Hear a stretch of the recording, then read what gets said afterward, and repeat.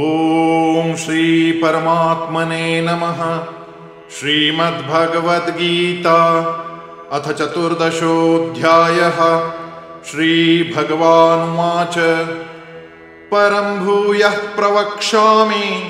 ज्ञानानाय ज्ञानमुत्तमम् यज्ञात्वा मुनयः सर्वे परां सिद्धिमितो गताः इदं ज्ञानमुपाश्रित्य मम साधर्म्यमागताः सर्गेऽपि नोपजायन्ते प्रलयेन व्यथन्ति च मम योनिर्महद्ब्रह्म तस्मिन् गर्भं दधाम्यहम् सम्भवः सर्वभूतानां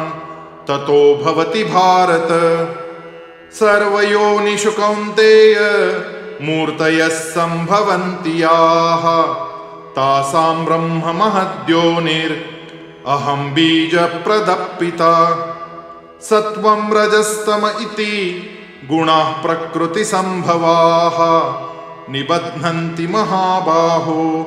देहे देहि नमव्ययम्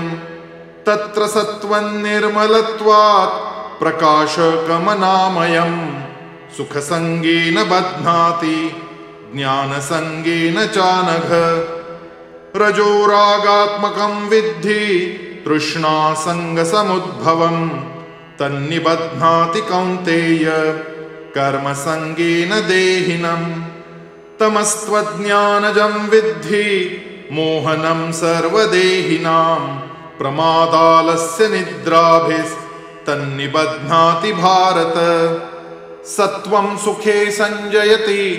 रजः कर्मणि भारत तु तमः प्रमादे सञ्जयत्युत रजस्तमश्चाभिभूय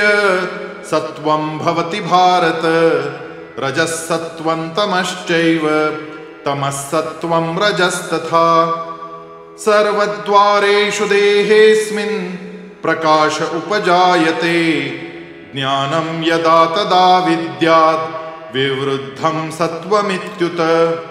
लोभः प्रवृत्तिरारम्भ कर्मणामशमस्पृहा रजस्येतानि जायन्ते विवृद्धे भरतर्षभ अप्रकाशो प्रवृत्तिश्च प्रमादो मोह एव च तमस्येतानि जायन्ते विवृद्धे नन्दन यदा सत्त्वे प्रवृद्धे तु प्रलयं याति देहभृत् तदोत्तमविदां लोकान् अमलान् प्रतिपद्यते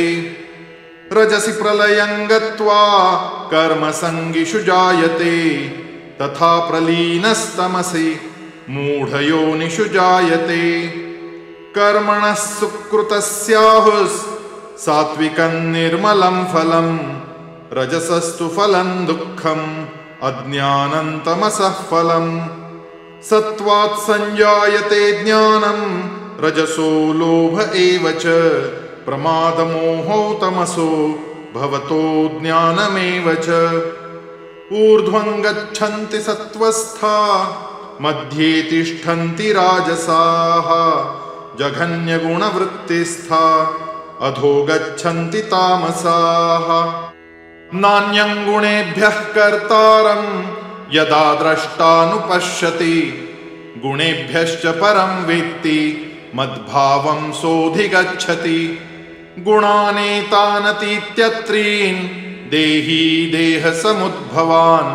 जन्म मृत्युजरा दुःखैर्विमुक्तोऽमृतमश्नुते अर्जुन उवाच कैर्लिङ्गैस्तृन् गुणानितान् अतीतो भवति प्रभो किमाचारः कथञ्चैतान्स्त्रीन् गुणानतिवर्तते श्रीभगवानुवाच प्रकाशञ्च प्रवृत्तिञ्च मोहमेव च पाण्डव न सम्प्रवृत्तानि न निवृत्तानि काङ्क्षति उदासीनवदासीनो गुणैर्यो न विचाल्यते गुणावर्तन्त इत्येव योवतिष्ठति नेङ्गते समदुःखसुखस्वस्थस् समलोष्टाश्मकाञ्चनः तुल्यप्रिया प्रियो धीरस्तुल्यनिन्दात्मसंस्तुतिः मानापमानयोस्तुल्यस्तुल्यो मित्रारिपक्षयोः सर्वारम्भपरित्यागी गुणातीतः स उच्यते माञ्चयो व्यभिचारेण भक्तियोगेन सेवते सगुणान् समतीत्यैतान् ब्रह्मभूयाय कल्पते ब्रह्मणो हि प्रतिष्ठाहम् अमृतस्याव्ययस्य च शाश्वतस्य च धर्मस्य सुखस्यैकान्तिकस्य च ॐ तत्सदिति श्रीमद्भगवद्गीतासु उपनिषत्सु ब्रह्मविद्यायां योगशास्त्रे श्रीकृष्णार्जुनसंवादे गुणत्रयविभागयोगो नाम चतुर्दशोऽध्यायः हरये नमः हरये नमः हरये नमः